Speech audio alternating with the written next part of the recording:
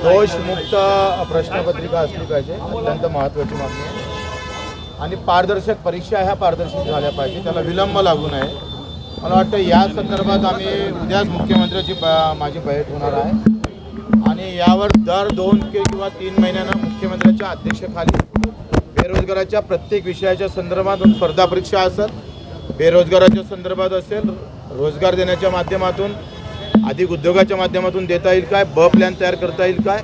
तर या सगळ्या संदर्भात आम्ही येत्या आठ दिवसात मुख्यमंत्री महोदयासोबत एक बैठक लावून एक चांगलं धोरण युवकांच्या बाबतीत स्पर्धा परीक्षेच्या संदर्भात निश्चितच एकनाथजी जाहीर करेल असं मला आशा आहे. आम्ही तशी मागणी पण करू. नाही, मंत्रिमंडळाचा विस्तार हा विषय फार मला वाटतं इतका महत्त्वाचा नाही आहे. दिव्यांगाच्या मंत्रालयासमोर विस्तार हे फार लहानशी गोष्ट आहे. आता द्या जे काही वंचित आहे त्यांचा विस्तार झाला पाहिजे. तर हे प्रश्न मला विचारल्यापेक्षा देवेंद्रजीला आणि एकनाथजीला विचारलं पाहिजे. मला वाटतं ह्या सगळे प्रश्न माझ्या जोगते नाही माझ्या उंचीचे नाही आहे. मी अतिशय लहान कार्यकर्ता आहे. त्याच्यानं कोण मंत्रिमंडळ करण्याचा अधिकार बच्चूकडूला निश्चितच नाही. ज्याला हे अधिकार आहे त्याला आपण विचार.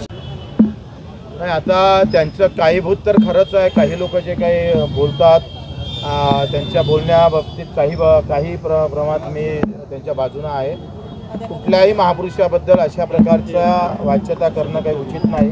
त्याचा आम्ही निषेध करतो. पण कारवाई केली जात नाहीये आता. निषेध केला जातोय पण कारवाई का होत नाही? सगळ्या गोष्टीवर कारवाईची गरज नसतं.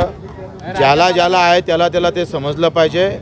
का होतंय? सगळे गोष्टी प्रश्न हे कारवाईनं संपत नाही. ही स्वतःची नाही जनाची तर मनाची असली पाहिजे. तर ते असणं फार महत्त्वाचं ना असं मुळ- मुळीतच वाटणार नाही. राज्यपालांनी त्या संदर्भात विस्तृतपणे जे काही असन जे काही बोलले असन ते चुकीचे बोलले.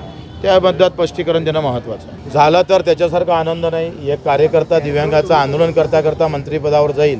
आणि त्याचा पहिला मंत्रिमंडळ मिळेल तर माझे स- आता तर आम्ही आनंद आहोत आनंदी आहोत. तो आनंद द्विगणित होईल. किती काही शक्त्या एकत्र झाल्या तर जनशक्तीच्यासाठी तुम्ही काय केलं? लोकांसाठी काय केलं?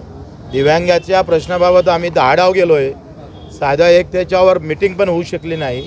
तर जनशक्ती बाबतीत जनाच्या बाबतीत तुमच्या बद्दल जर आस्था नसेल तर अशा शक्त्या एकत्र होऊन काही होणार नाही. कोणाच्या अवलादीचं असू द्या ते जनतेच्या बाजूचं असलं पाहिजे असं माझं मत आहे.